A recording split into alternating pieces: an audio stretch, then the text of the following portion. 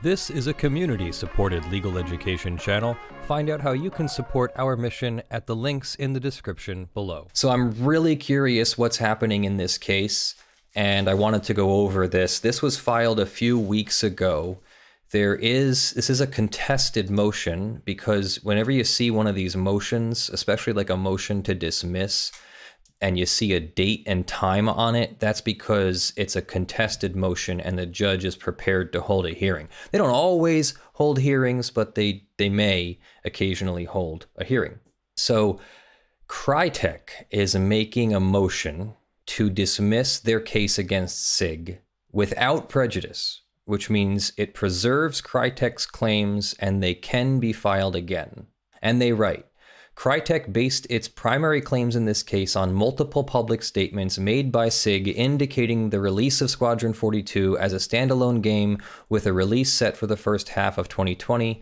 Because this fact is central to Crytek's primary claims, Crytek seeks to voluntarily dismiss its claims without prejudice, without prejudice to refiling those claims again upon actual release of Squadron 42 no efforts taken to date will be lost, and no legally cognizable prejudice will occur.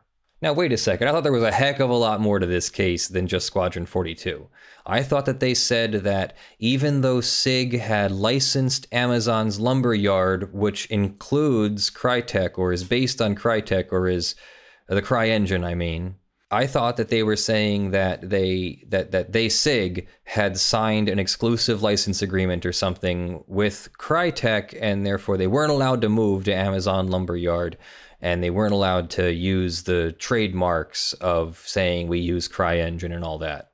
That's going to come into this later. So no efforts taken to date will be lost, and no legally cognizable prejudice will occur. I guess they mean to opposing party. Crytek's requested relief will promote judicial economy by allowing all claims to proceed as a unit once the Squadron 42 claims become fully ripe upon CIG's release of that game. This case has been marked by a pattern of CIG saying one thing in its public statements and another in litigation. For example, at the outset of this case, CIG had publicly claimed it had switched to using the Lumberyard engine for both Star Citizen and Squadron 42, but was forced to confirm during this litigation that no such switch had taken place. Okay. They say that the sentence Crytek makes much of the fact that the code is the same. I don't know if there's more to that statement, but that's what they cited. That doesn't seem to say what they say it said. The fact that CIG denied Crytek the credits to which it was due under the party's game license agreement without actually switching game engines is the basis for Crytek's credits claim in this case. Credits, so I'm, I'm assuming they mean like credits in the like the beginning credits and maybe like end game credits and when you go to the settings menu and you choose credits for this game. That's what you're talking about? Yes, if I remember correctly, that's part of it. Um, so that they then get the publicity that's associated with using their engine. Okay. Similarly, prior to this case, CIG was actively communicating that it was preparing to release Squadron 42 as a standalone game, which actions would constitute another breach of the game license agreement, referred to herein as the Squadron 42 claim. In October of 2016, CIG held its annual CitizenCon event. Chris Roberts provided updates on its games. Following that event, numerous outlets wrote about Mr. Roberts' presentation, and specifically his comments about Squadron 42. In describing Mr. Roberts' discussion on Squadron 42, each outlet noted that, that Squadron 42 was a standalone single player game being offered by CIG. Okay, and one outlet even expressly noted that Squadron 42 would be a separate game from Star Citizen. Each of these outlets left CIG's CitizenCon with the understanding that they would be separate. I, I, I don't know why they're relying on this so much, but okay. Crytek, CIG's backers, and the public were all left with that same understanding. I, I don't understand. So, understanding does not necessarily create a contract, but okay, keep going. Further, 10 days after Crytek filed this suit, CIG itself seemingly confirmed the fact. In a video uploaded to its Star Citizen YouTube page showing Squadron 42 gameplay, CIG included a description of the video stating, Watch the standalone Squadron 42 vertical slice gameplay demo showcasing Navy life aboard an Idris or Idris frigate and a rescue mission in an abandoned moon outpost. Similarly, during this litigation, CIG has consistently given the appearance that Squadron 42 would be a standalone game. Wow, they're making a whole lot about this being a standalone game. Let me start skimming. Disputing the purported impact of the Amazon license, Crytek noted its understanding that CIG would release Squadron 42 as a standalone game that is acceptable outside of the Star Citizen game. Then, on that information and belief, the development necessary to achieve the result have already been started. I, I'm still really, really hazy on what's going on here because when we originally looked at the game license agreement, it looked like it was a standard game license agreement that did not create an enforceable promise that uh, uh, that that CIG would release Squadron 42 on behalf of Crytek. Like CIG has not made an agreement that I know of that that binds them to using Crytek's engine. Rather, it sounded like Crytek was trying to get CIG to come back to Crytek's engine and be responsible to Crytek for license fees and, and revenue or profits or whatever, a share of whatever, because they were using the engine. And instead, they chose to use a different engine through Amazon Lumberyard, which also was based on CryEngine. I mean, that's my understanding. I, I could be wrong. I've been wrong before. I was wrong about the home, the Housing for Older Persons Act when we did that analysis and I had to eat crow. And I did so in the same stream, and I even left it in the video. Okay, here's our interrogatories. Okay, what are interrogatories? Fine, we can learn something about the law, everyone, on the Legal Education YouTube channel. In October, Crytek served an interrogatory on CIG. An interrogatory is a discovery request. So you have the duty in a civil case to not only preserve evidence, but also hand that evidence over, even if it is evidence against you, if the opposing party properly requests it and it is relevant and there isn't some other exception or or rule that you could use to get rid of the the request. So interrogatories are written requests for discovery or, or, requests for written statements in answers to written questions. You have things like a request for admission, where you simply answer yes or no in writing. You have interrogatories, which are in writing statements, and then you have depositions, which are uh, verbal interviews, kind of like a, a cross examination or direct examination, but in a private setting with a court reporter present. Usually, can't imagine why you wouldn't have a court reporter there, but usually you have a court reporter there. So they they asked, state whether Squadron 42 is currently being developed to be released as a standalone game, and if so, state the date that decision was made, when you began implementing that decision, when whether you secured advice of counsel with respect to that decision. I don't know if you're allowed to say that, if they have to say whether they secured advice of counsel. I know they can't say what advice they secured from counsel, but Identify all documents and communications concerning that decision, and identify the three persons most knowledgeable of same. CIG served its verified response, stating that CIG had not decided how the game would be released, and that is redacted. While this came as a surprise to Crytek and undoubtedly will come as a surprise to the public who has prepaid for Squadron 42, assuming the truth of CIG's response, Crytek's Squadron 42 claim is not yet ripe.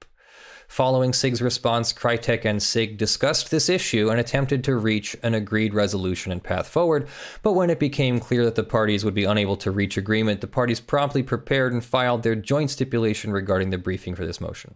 While CIG's ultimate intent to release Squadron 42 as a standalone game remains unclear, it is now equally clear through CIG's interrogatory response Accordingly, rather than press forward a case that is not likely to resolve the full dispute between the parties, Crytek seeks to voluntarily dismiss its claims without prejudice and can refile again once CIG has in fact released Squadron 42. This approach will conserve judicial and party resources by allowing all claims between the parties to be fully adjudicated in a single proceeding with a single round of discovery. How, wait, how long has this case been going on? Hasn't this been like two or three years now? This case has been going on? This was filed in 2017. We are now into the third year, more than two years, less than three, it sounds like. But we're getting very close to the now, in, in you know, the third or fourth year of this litigation. And Crytek just entered the litigation on this themselves. Like this wasn't CIG suing Crytek and then Crytek comes back and says, "Oh, well you're also releasing Squadron 42." No, Crytek made the claim. And this is how this is how great Crytek's claims have been that they seem to not have anything yet. They seem to have filed this so prematurely that they don't even have anything to to go they can't go forward with their claim yet. So now they have to backpedal. Federal Rule Civil Procedure 41A2 allows a plaintiff pursuant to an order of court and subject to any terms and conditions the court deems proper to dismiss an action without prejudice at any time. Well, I like how there's the little end there at any time, but it does say you need an order of court, you need terms and conditions, then it's at any time. So it's like right 40% of the time, all the time. Motions for voluntary dismissal are addressed to the court's sound discretion, and the court's order will not be disturbed unless the court has abused its discretion. So the appeal standard is abuse of discretion. A voluntary dismissal under Rule 41A2 should be granted unless a defendant can show that it will suffer some plain legal prejudice as a result. Uh, how about the prejudice of having adjudicated the case to this point?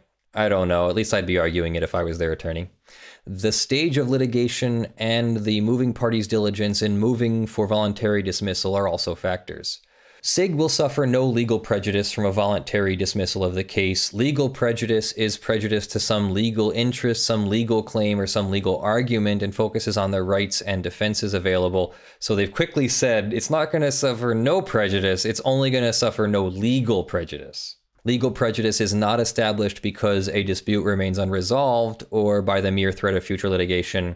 Here, CIG will suffer no legal prejudice because the parties will both be in the same position in any future litigation following the release of Squadron 42, with the only difference being this, this redacted difference. So there is some kind of difference.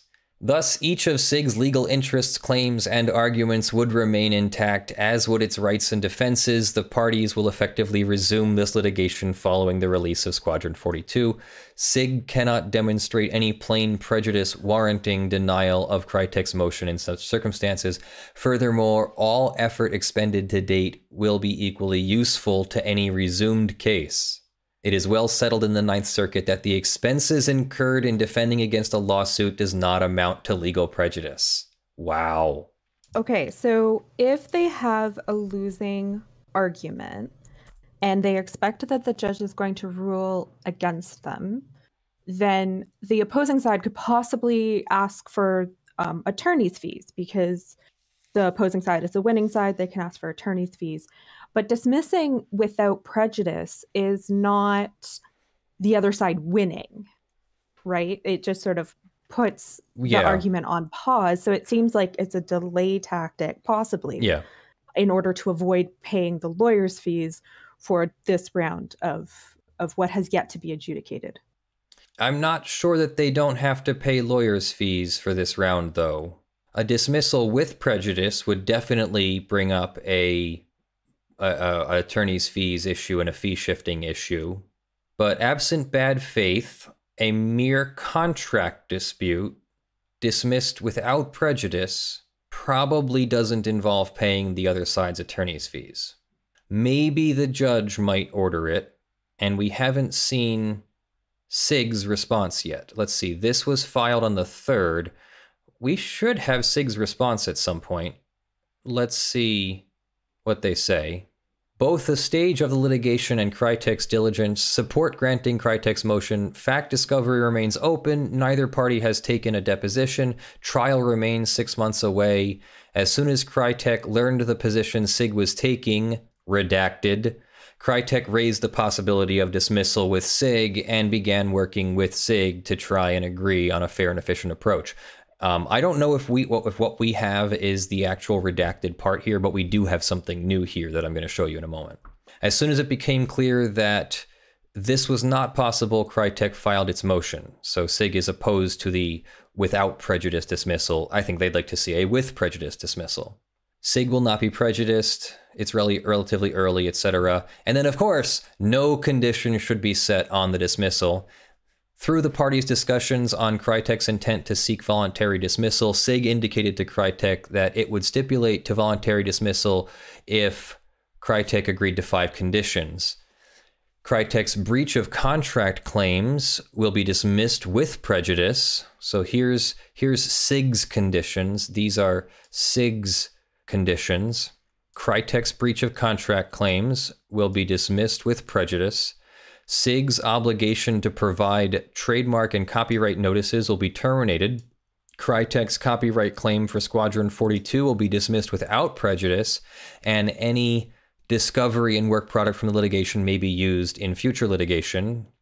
Crytek will release CIG from all claims from the beginning of time through the effective date, provided that the release will not cover any claims arising from the future release of Squadron 42 outside of Star Citizen, and the payment by Crytek of CIG's attorney's fees in the amount of $500,000.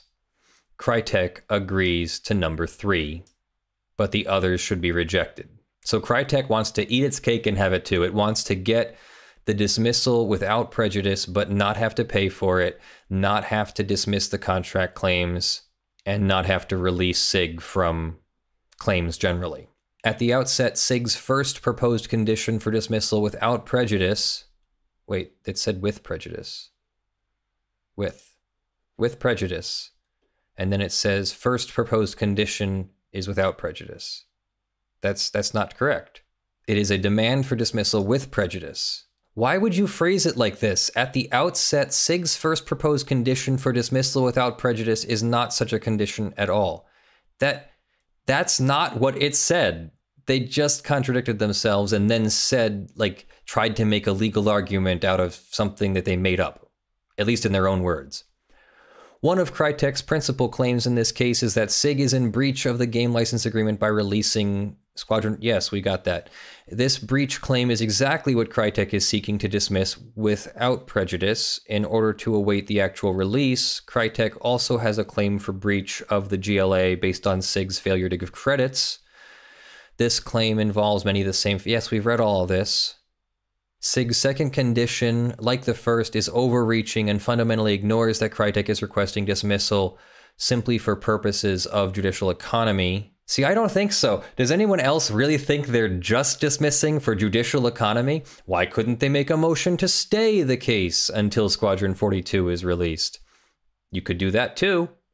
I think I, th- I think they'd like to get the case over with so then if it turns out that they're wrong, then they don't bring the case again. Whereas if it turns out that CIG is right and Crytek has already dismissed the case, well, then, well, there's no case to bring and you can't get your attorney's fees back.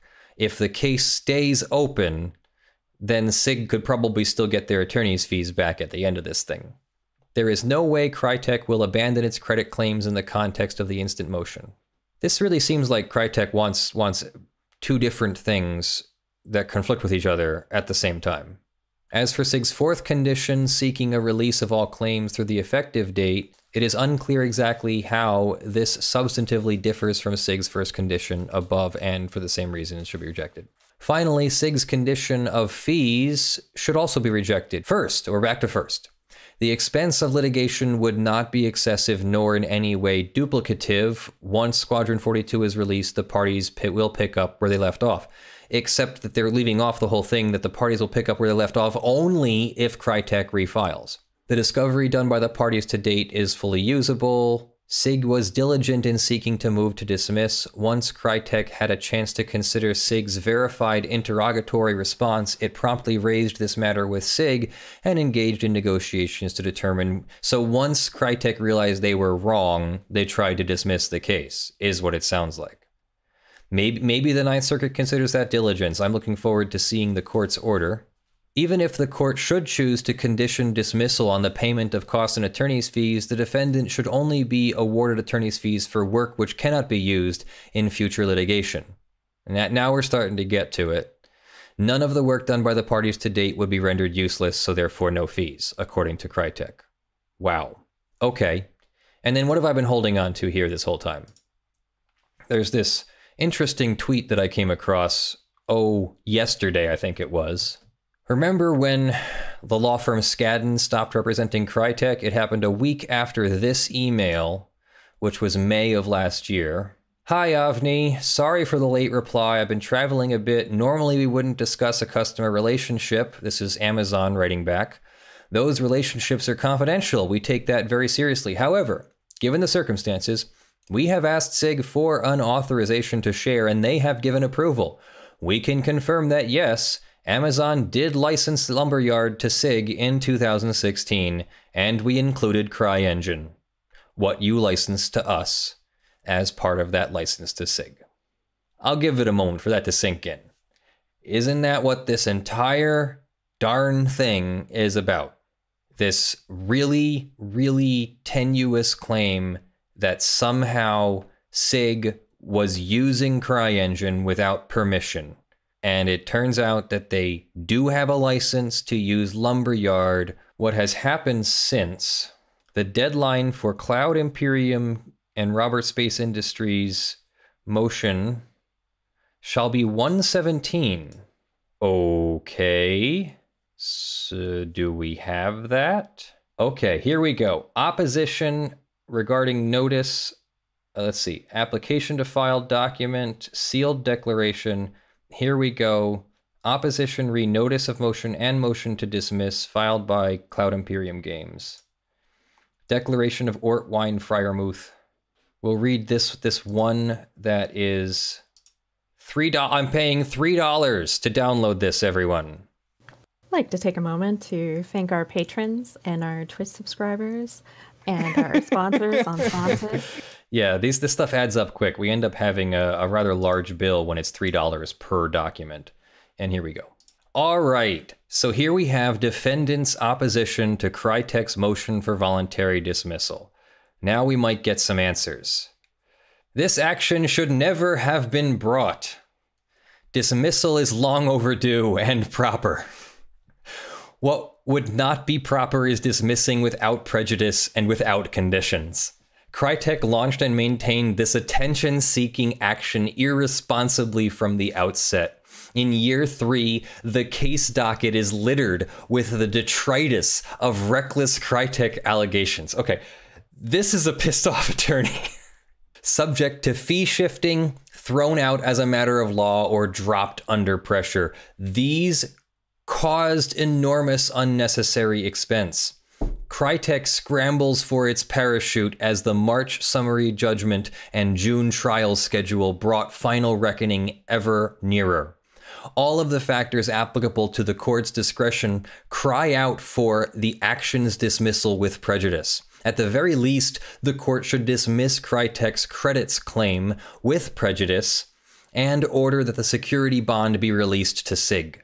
Crytek should not be allowed to aim its car at CIG's storefront window, stomp the accelerator, smash through, do donuts for years, then back out and drive away to maybe circle around and crash into CIG another day. Oh, wow. He's very upset. They're very upset. Tell us how you really feel. I love it.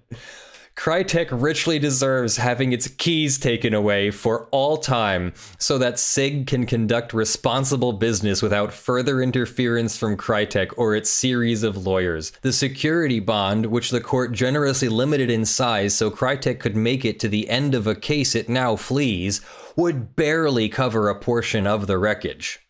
The proper ending is the action's dismissal with prejudice. Any other dismissal should end with the bond being paid over to CIG. CIG's singular pretext for seeking merciful exit from this court does not even justify dismissal of the one of Crytek's existing claims at which it is aimed. The evidence has always shown that CIG entered into a separate license agreement with Amazon and since 2016 has been developing Star Citizen and Squadron 42 using the something that Amazon licensed and delivered to CIG. On top of that, from day one of this action, CIG has repeatedly pointed out that Crytek's claim that Squadron 42 cannot be released in a separate game client could not even theoretically be right because Squadron 42 has not even been released. Even pretending that the Amazon license did not exist, the game license agreement expressly defines the game as both Star Citizen and its related space fighter game Squadron 42, and whether content falls outside the scope of the license as whether players actually access the content through the Star Citizen game client. Since Squadron 42 has not been made available to players at all, a fact Crytek conceded early in Discovery, Crytek's claim is and always has been, at best, premature.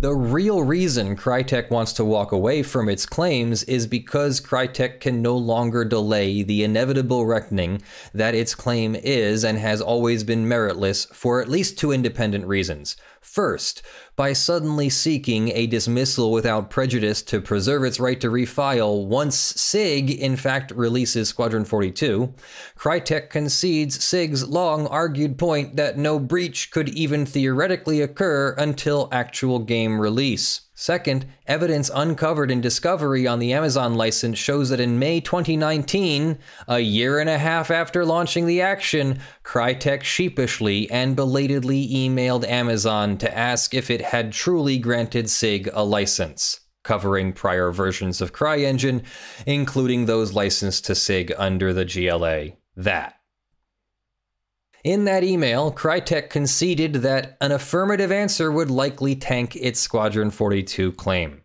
Amazon confirmed that, yes, indeed, it had done just that. Instead of acting responsibly, even at that late moment, Crytek persisted, fought the bond motion, and dithered another seven months before bringing this motion. Throughout this case, Crytek has sacrificed legal sufficiency for outlandish allegations designed to ignite incendiary publicity. Even as Crytek now hobbles towards the exit, it misleads the court. And in this closely watched case, that always means misleading the public by falsely claiming that CIG did not switch to Amazon Lumberyard and pretending that new information came out in Discovery about the timing and future release of Squadron 42. In fact, nothing about the release timing of Squadron 42 has been shared with Crytek. Crytek tries to twist CIG's interrogatory response, which we read before, while Crytek suggests that the response would come as a surprise to the public who has prepaid for Squadron 42, CIG's response did not refer to how the game was marketed, but rather stated that CIG simply had not yet determined how players will access the game. It is customary for large games to reserve decisions regarding the parameters of release until closer to the release date in order to evaluate the market conditions at the time. Crytek's contention that CIG's interrogatory response is inconsistent with its prior public statements is unfounded. All right, this goes on for another 20 pages, so we're going to skim a little bit here. The court entreated counsel on January 10th to confer in finding an agreement on dismissal, Crytek's counsel acknowledged they would do so after admitting they likely would refile. Crytek's Stonewall position remains without prejudice or conditions, which we just read. So they want to have some, so CIG, of course, wants to have some conditions. Since 2012, CIG has been developing a multiplayer video game called Star Citizen. Don't don't I know it since 2012? I was a not a, not a backer, but I was an early pre-orderer after the Kickstarter, and I I dared ask the community when in the world this game would be ready to play, and I got like flamed to heck. So apparently, you don't ask that question. While certain playable modules of Star Citizen have been released, CIG has not yet made any part of Squadron 42 available to the public. Really, I thought there was like a, I thought there was a Squadron 42 like button inside of Star. I swear I played something. I don't know. Development of these games has been supported primarily through crowdfunding. November 20th, 2012, CIG entered into the game license agreement with Crytek. CIG paid Crytek $2 million in buyout license fees for the right to use Cry Engine in connection with the game and its related space fighter game Squadron 42, the game license agreement defines whether content is within the scope of the game by whether players can access the content outside of the Star Citizen game client. The license provides, quote, in the event any litigation is brought by either party in connection with this agreement, the prevailing party will be entitled to recover from the other party all reasonable costs, attorney's fees, and other expenses reasonably incurred by such prevailing party in the litigation. Crytek cashes out of CryEngine business in deal with Amazon. In 2014, reports began to surface that Crytek was experiencing serious financial problems. Starved for cash, Crytek entered into an unprecedented license agreement with Amazon. I don't know what this what this redacted part says, but I'm assuming it has something to do with granting a license to Amazon to create their own game engine using CryEngine called Amazon Lumberyard, and then license that to whoever they want with no lim- with no further limitations on who they can license it to. In February 2016, Amazon publicly announced the launch of Lumberyard, a game engine derived from CryEngine that Amazon was making available for free, including full source code access to all Amazon Web Services customers. Following Amazon's news, Crytek effectively retired from the game engine business, shifting to a pay what you want model and something. CIG switches to Amazon Lumberyard. Amazon told CIG that it was developing Lumberyard based on CryEngine. Amazon granted CIG to use. I'm assuming this says something about using the Lumberyard game engine. December 23, 2016, after taking multiple steps to effect a switch of its engine code to, I'm guessing, Lumberyard, under license from Amazon, CIG began displaying the trademark for Lumberyard instead of CryEngine on the opening splash screen for Star Citizen. That same day, CIG announced its switch to Lumberyard. Crytek did not object. Crytek admitted that the game license agreement does not obligate defendants to provide copyright and trademark notices for CryEngine if CIG switches to a different game engine. Crytek also conceded that it has no evidence of damages and claims no loss of profits from the removal of Crytek's credits or CIG's switch to Lumberyard. Yeah, it sounds sounds like CIG paid for the Crytek CryEngine upfront with for two million dollars or whatever, and then switched when they realized that they could get either out of or around any revenue sharing or profit sharing or whatever they had to share. They switched to Amazon Lumberyard instead, maybe even because Amazon had further developed it and it might have been more robust by then. And then Crytek is upset. In January 2016, CIG and Amazon neared an agreement. CIG announced that supporters would be able to support the development of Star Citizen by contributing funds for access to Squadron 42. Previously, CIG had included Squadron 42 only with the Star Citizen game packages. The announcement did not specify how players would access the game. Following the news, Crytek contacted CIG to raise a concern about the announcement. Crytek pointed out that the game license agreement did not authorize content released outside of the Star Citizen game client. Um, CIG then in February issued a press release clarifying that the package split does not change the fact that Star Citizen and Squadron 42 are part of the same game universe or the fact that the games are functionally connected. You will access Squadron 42 through the same game client.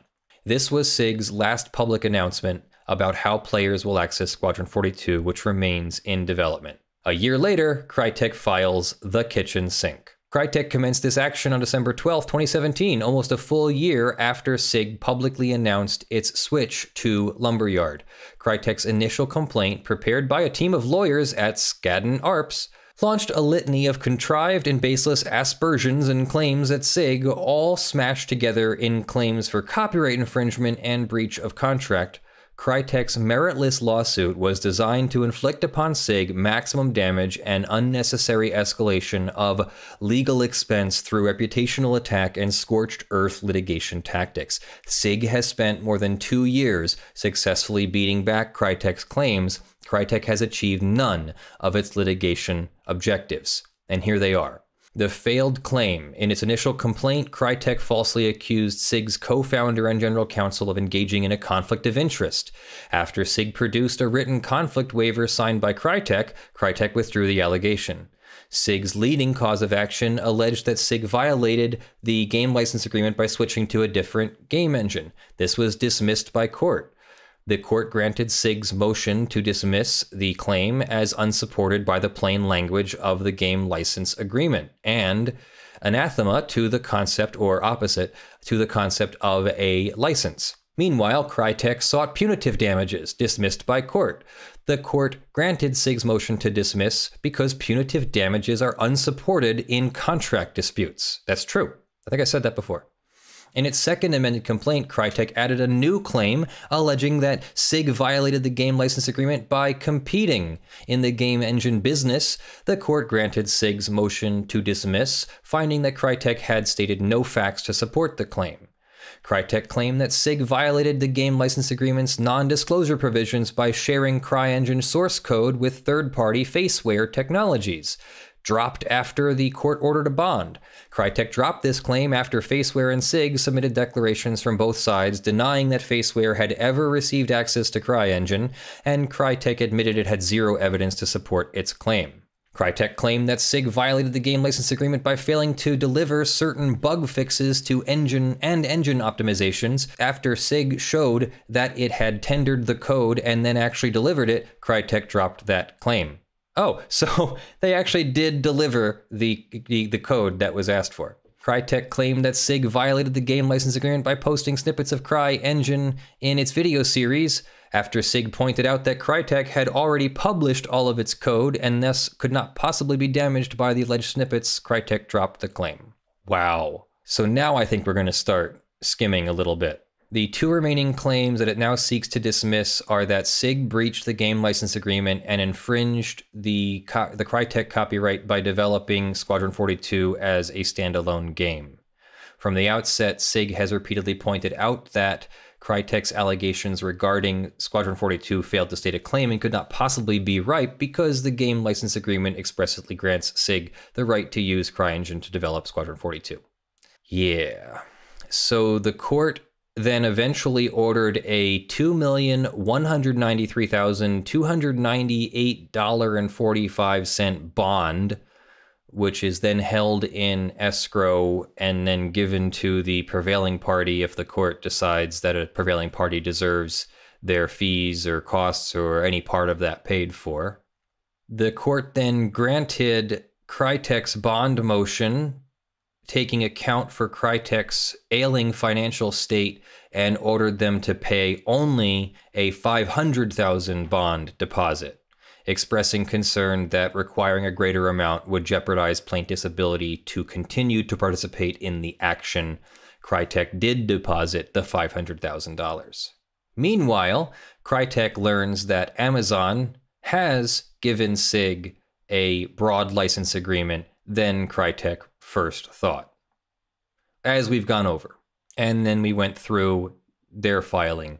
And so they argue that the dismissal should be on terms that the court considers proper, and that they believe those terms should be a with prejudice dismissal and payment of the $500,000 bond over to CIG. CIG expended significant time and expense to pare down Crytek's meritless claims and prepare for trial.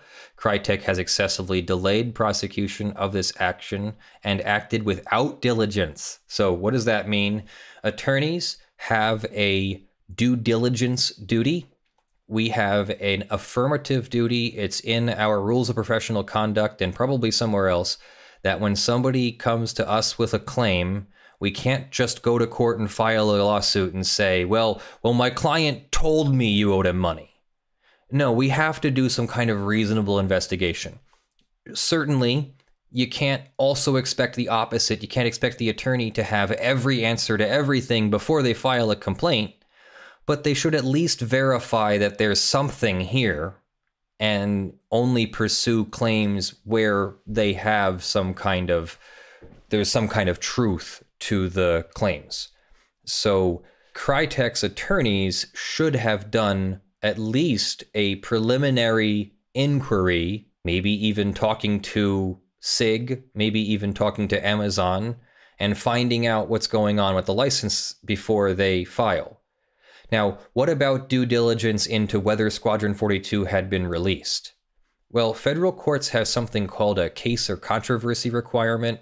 Your your case has to be ripe for judicial review for for federal adjudication if it is either not ripe because you're premature or if it has been rendered moot because something has happened and you are now past the point where you have a claim you you don't have a case or controversy to get into federal court so Crytek should have known, in, in this lawyer's professional opinion, Crytek should have known that Squadron 42 wasn't released yet, and that the release of Squadron 42 in a separate game or wrong engine or without credit and all that stuff, those are all things that can be fixed by monetary relief, by going to court and getting a court to order money and then having that money paid. So why would they go through two plus years of litigation, intense litigation to the tune of millions of dollars of, of fees paid to their lawyers, if they knew at the outset that Squadron 42 wasn't released yet and they didn't know for sure how it was going to be released? Certainly, a game company making public statements is not the same as a contract. Maybe somebody who's damaged by those statements could could have but those damage has to be ripe and not moot. I don't get it. I don't even see how their lawyers could have maintained this. Their lawyers should have looked into this. And i openly question i don't have they're not making accusations that anyone has actually done something. I'm questioning whether or not their lawyers actually did their due diligence. Because if the lawyers knew that Squadron 42 wasn't released yet, then what is what is Crytek paying their lawyers for? They're, they should not be paying your lawyer to not do their job. You should be paying your lawyer to do their job. So these are valid concerns for CIG. Crytek has dragged CIG through the mud on claims based on objectively suspect evidence. Crytek forced CIG to defend itself without basis in fact, without basis in law, without any proof of damages. The litigation is in its late stages. Crytek's stated reasons for dismissal are suspect. Crytek pins its request for voluntary dismissal on CIG's interrogatory response, suggesting that CIG changed its position regarding the intended method of access to Squadron 42. I don't think they ever committed to a particular kind of, of release. I mean, are, are we really going to speak out of both sides of our mouth here? We've all seen video game companies changing the style of their release. I complain about the Epic Game Store exclusives all the time, and even though it's not illegal, it doesn't feel really great to be a consumer of video games and have to keep being forced into a, a game launcher that frankly sucks and and and that I don't really want to use anyway. And I, and I'm a guy who loves the Unreal Engine, and and I really loved Paragon, and so you might start to see why I'm a little ticked off. They canceled Paragon for Fortnite. They forced me to use a launcher I don't want to use for games that I want to play through Steam, where I can still get customer service and I can still get a refund. anyway, so no one should be expecting that game companies, you know, statements are some kind of binding legal promise. The breach of the license is not determined by CIG's thought process during development or how it may consider releasing Squadron 42. Any alleged breach depends on how players access Squadron 42. Third, Crytek has provided no valid ground to dismiss its credits claim, which Crytek does not contend pivots on how CIG intends to release on to release Squadron 42. So the credits claim is apparently still open. Crytek is swerving from a near certain adverse ruling. With a summary judgment and trial deadline on the horizon, Crytek seeks to avoid a near certain adverse ruling that the last claims are unripe, meritless, or both. Crytek admits an adverse ruling is on its way because its excuse for why the Squadron 42 claim should be dismissed, that the claim is not ripe, is one of the very adverse rulings it seeks to avoid. The court's order on the bond motion, which found merit in CIG's legal defenses, gave Crytek reason to change its tune. But as the Ninth Circuit held in the Maxim case, the fact that a party's motion for voluntary dismissal follows a court's indication of how it might rule weighs in favor of dismissal with prejudice. In sum, taking into account CIG's effort and expense defending against Crytek's claims, the excessive delay, lack of diligence, late stage of the proceedings, Crytek's insufficient explanation for dismissal, it would be inequitable to allow Crytek to refile its claims against CIG. The court should impose reasonable conditions, including dismissal, and the $500,000 bond should go to Crytek, and the court has the discretion to do so and it typically should include an award of attorney's fees and costs, according to them. They say they can't use a lot of the work in future litigation because so much has been dismissed. They have expended tremendous effort and expense. CIG has incurred almost a million dollars in legal fees on extensive motion practice, pleadings, discovery, fact investigation, experts, a mandated settlement conference, while CIG has not filed for summary judgment, preparations are underway. These facts weigh heavily in favor of a significant fee condition. The litigation is now in its third year. Hey, I just said that too. The parties exchanged written discovery and documents, and CIG is prepared to complete its document production. in this late hour voluntary dismissal without conditions would unfairly affect CIG. Crytek did not exercise diligence in moving to dismiss. This was one of their big arguments. If Crytek had truly been diligent in looking into the facts, it would never have filed this sham action out of the blue at all. If Crytek today can be believed at all, even by its own argument, Crytek should have dismissed years ago while awaiting Squadron 42's release. Yep. Yeah, that's I think a really probably the strongest argument this is not a case of a diligent plaintiff sensibly backing out early on. It is instead a study of an abusive use of litigation and publicity. For all of the above reasons, the court should dismiss Crytek's two remaining claims with prejudice. If the court is not inclined to do so, it should condition dismissal on the payment of CIG's attorney's fees and costs in the amount of $500,000 to be dispersed from the bond and the dismissal of the credits claim, at least that one, with prejudice. Boom! So you know the saying that, you know, for your case, like argue the facts, and if you don't have the facts, argue the law, and if you don't have the law, bang on the desk. I yeah. feel like this did all three. Yeah. At the same time. Yeah.